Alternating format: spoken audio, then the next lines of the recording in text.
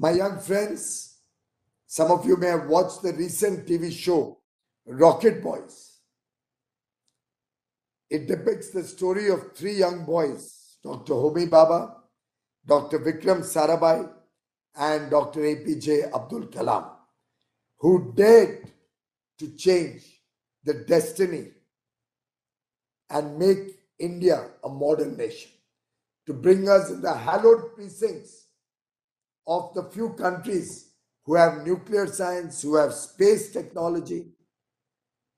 They had the vision to change India and give India global positioning, both in atomic energy and in space technology. Today, India needs young students and all of you who can think and pursue, have a grand vision for the future, and lead the nation and 135 crore Indians to prosperity. I'm sure, in, even in today's audience, we have many rocket boys in the making.